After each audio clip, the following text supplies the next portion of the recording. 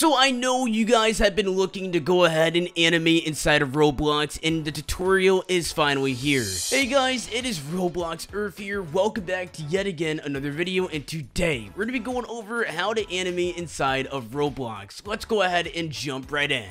So the first thing you want to go ahead and do is hop into Roblox Studio. So Roblox Studio is Roblox's game creation platform. It makes it super easy for game devs to go ahead and make games. But if you guys are looking to animate inside of Roblox, you're going to need to go ahead and download this. So since you go ahead and type in Roblox Studio into Google, and you guys are good to go. So the first step is to basically open up a base template and as you guys can see, we're going to select the character that we want. So I just placed down my character and that was super easy. But the next steps are even easier.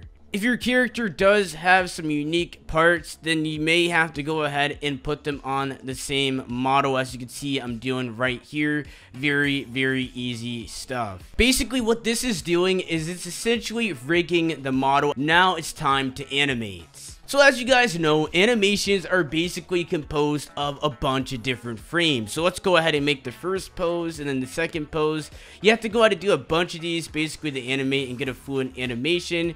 Let's say your animation is 60 frames per second, then you need 60 frames per second. I know it's a lot, but if you want something very fluent, then we got to go ahead and do it. But we're not going to be doing it in this video, just watch me. Now let's get into movement. So I'm going to be using this item right here, and essentially what this allows us to do, we can set the velocity. Velocity is basically how the item is going to move. The next thing you want to go ahead and do is set up a script. So basically what this does is it essentially allows you to program it where it's going to actually play the animation let's say we had a Pokemon, which is illegal. We can't really be doing that inside of Roblox. They took down multiple games like that.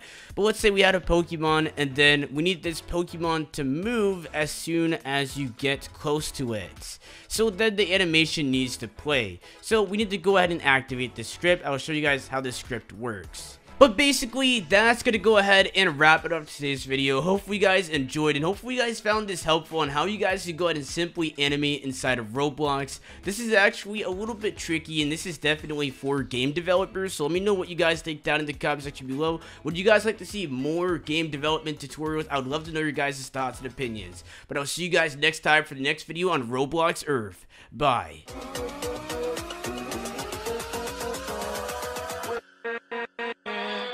With